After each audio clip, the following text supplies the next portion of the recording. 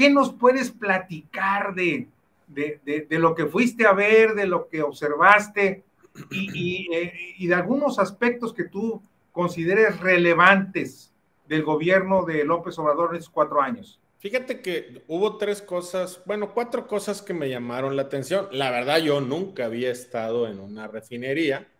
Eh, me había tocado estar en la de Cadereyta en algún momento, en alguna gira de trabajo, pero nunca había visto algo como lo que vi el, fin de semana. Eh, es algo impresionante eh, el trabajo que se hizo. Creo que fueron dos años y medio aproximadamente.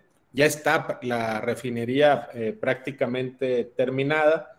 Y ahí, lo primero, insisto, es pues este, yo había tenido oportunidad en la iniciativa privada, conozco plantas de cemento, de acero, conozco incluso plantas de fabricación de vehículos automotores y son procesos muy complejos no, la industria eh, petroquímica nunca había sido parte de, mi cartera donde había podido participar. En México no hay industria petroquímica, solamente es, estaba monopolizada por Pemex o sigue monopolizada por Pemex. Y bueno, en los últimos años la política pública de Estado era ya deshacerse de, de la petroquímica. Entonces, lo primero es que es impresionante el tamaño de lo que vi, el orden de las cosas que vi ahí el tamaño de los tanques, el tamaño de, la... De la eh, tienen un reactor que pesa 1.800 toneladas, que tuvo que venir una grúa especial, que nada más hay dos en el mundo, que casi casi el de la grúa cobra como un astronauta, ¿no? Para poder mover esa, esa nave y luego ya se volvió a ir. Hicieron un puente impresionante también de un río interior que tiene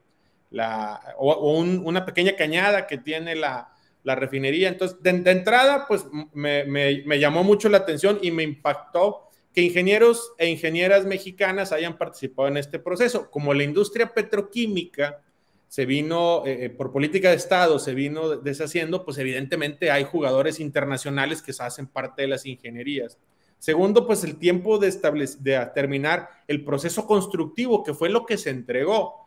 Se entregó ya el proceso constructivo ya está montada la, planta. Eh, hablan de dos años y medio. Con una pandemia me parece que es algo meritorio. Pero hablé con unos ingenieros e ingenieras que estaban ahí y me llamó mucho la atención que ellos decían, es que eh, nosotros somos ingenieros petroleros, tenemos una industria petrolera que está entre las primeras 15 del mundo y no teníamos posibilidad de trabajar con nosotros, incluso una de ellas era, trabajaba para una empresa extranjera que tenía este expertise, que creo que incluso el país de donde era esta empresa ni siquiera eh, tiene petróleo. Entonces me llamó mucho la atención cómo esta obra, algo que no vemos, es que se genera conocimiento para, para ingenieras y ingenieros mexicanos, siendo México aún una potencia petrolera por sus eh, eh, cantidades de petróleo que hay en el subsuelo. Y luego ya en la cuarta parte, bueno, viene el fenómeno